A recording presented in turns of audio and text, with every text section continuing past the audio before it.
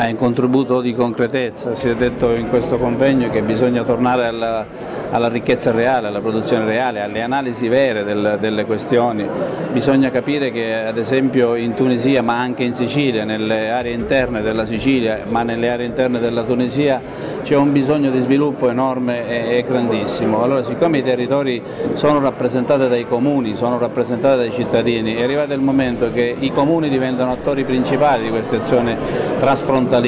per cui prendiamo atto che c'è bisogno di ripopolare le aree interne, fare ripartire tutte quelle attività che poi sono veri strumenti di produzione di ricchezza reale e quindi fra Tunisia e Sicilia, ma soprattutto fra comuni siciliani e comuni tunisini, fra cittadini siciliani e cittadini tunisini nasca finalmente un rapporto di relazione importante che porta finalmente allo sviluppo, all'innovazione ma soprattutto al benessere delle comunità.